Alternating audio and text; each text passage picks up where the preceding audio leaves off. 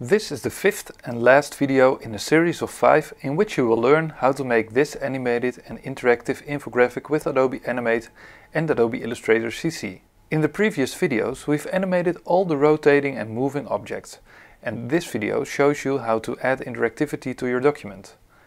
I'll show you how to make these buttons and how to make them clickable.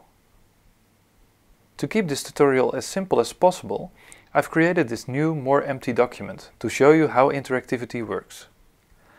I'll first test this document in the browser.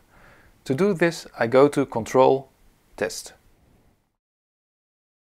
As you can see, this document contains a looping animation. The pop-up opens, closes again, and so on. So the first thing to do is to add a few stop actions to stop this animation. Then we add some actions to the button so that it starts the animation when a user clicks on it. In Adobe Animate I first double click on the pop-up that I've already created before. You now see the pop-up animation, but we want to stop it in the first frame. That's why I now click on the first frame in the Actions layer that I've already created. Now go to Window Actions to open the Actions panel. We can add some code here with a very handy Actions wizard Click on the Add Using Wizard button to do this. Now we have to tell Animate what to do at this position in the timeline. In this case, we want to stop the animation. So first scroll down and click on Stop. Now click on this timeline, then Next to go to the next step and now on With this frame. Click on Finish and Add to add the code. The code has now been added to the first frame you can also see this because there is a small A symbol in the first frame. I'll repeat this step for the 10th frame.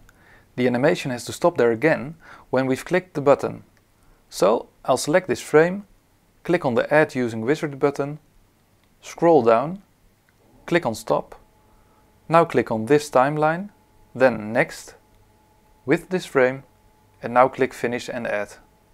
All stop actions have been added now, Let's go back to scene 1 to add the actual interactivity. Before we can add this interactivity, we have to name all symbol instances on the main timeline. We can do this by first clicking on the Info button with the selection tool, then go to the Properties panel and type Info button in the instance name field. Now select the pop-up instance. Go to the instance name field again and name it pop-up we have to add the actual interactivity to the first frame in the Actions layer.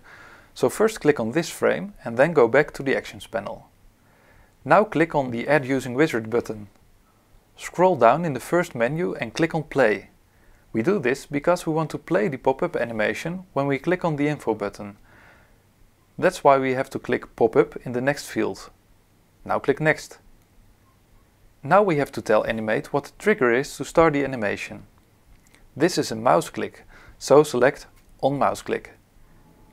And because we click the info button, we have to select info button in the next field.